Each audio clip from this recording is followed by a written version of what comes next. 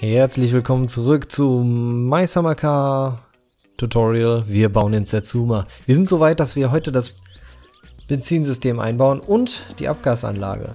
So, wir beginnen mit dem Benzin... Ich weiß nicht genau.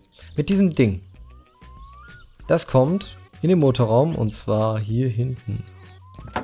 Das läuft nämlich, kommt hier und läuft dann hier rum. Man kann super im Motorraum übrigens sitzen, auch wenn der Motor drin ist, das ist kein Problem. Hier vorne muss er nicht befestigt werden, aber hier hinter sitzt eine Schraube, die man kaum sieht. Und zwar eine Achter. Jetzt kommt als nächstes der Tank. Der Tank kommt unter das Auto. Wer hätte das gedacht? Um das zu vereinfachen, heben wir das Auto hinten an mit dem Wagenheber. Wir haben jetzt die Handbremse drin. Ziehen wir die mal an, damit er nicht wegrollt.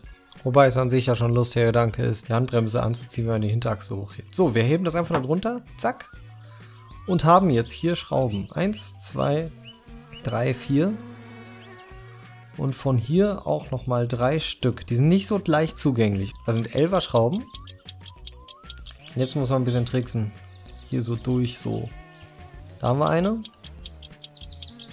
Eine. Dahin sehe ich noch eine. Zwei. Da sieht man sie. Dann haben wir den Tank drin. Zum Tank gehört natürlich der Tank-Einfüllstutzen. Der endet logischerweise hier. So. Zack. Ist schon direkt ein Deckel drauf. Und muss auch nicht angeschraubt werden. Der fluppt da einfach rein. So, und bevor uns gleich vom Wagenheber runterrutscht, müssen wir hier vorne noch da hinten Benzinleitung mit dem Tank verbinden. Da kommt man echt nicht toll dran. Dafür lohnt es sich dann auch mal, den Wagen nochmal von einer anderen Seite aufzubocken, denn jetzt sehen wir hier tatsächlich viel besser die Mutter und auch die anderen Schrauben.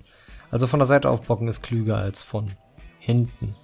Das ist eine 12er Weite tatsächlich. Ziemlich groß für die Leitung, finde ich. Wir nehmen uns das Kanisterchen. Mit F öffnen wir es. Hier müssen wir ein Mausrad dran drehen, um den Tankstutzen zu öffnen und kippen da ein bisschen was von dem guten Zeug rein. Jetzt, wo wir den Tank dann drin haben, werden wir uns an die Auspuffanlage machen. Hier unten liegt das Rohr. Das Rohr ist kein großes Vergnügen einzubauen, wenn man den Wagen draußen hat. Aber ich mache den kompletten Aufbau hier draußen, also hey.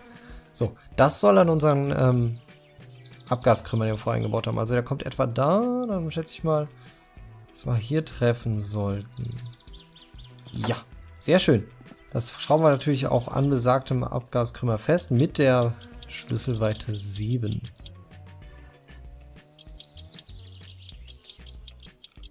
Zwei hier vorne. Und wir müssen es auch noch am Auto festschrauben. Das haben wir dann einmal... Eine Schraube sitzt hier hinten. Das sieht man jetzt nicht so toll, aber da ist so ein Blech und da wird das dran geschraubt. Ja, der Endschalldämpfer der liegt hier hinten, unübersehbar. Der kommt von hier drunter. Auch 7. Und zwar eine Schraube hier. Zum anderen Auspuff hin muss man es nicht befestigen. Das flanscht einfach dran. Jetzt haben wir Abgas und Kraftstoffanlage schon komplett drin. Das war es quasi schon für diese Folge. War ein bisschen kürzer als die davor, aber macht ja nichts. Denn in der nächsten Folge geht es direkt weiter mit dem Innenraum und der Karosserie. Bis dahin, macht's gut, euer Loco.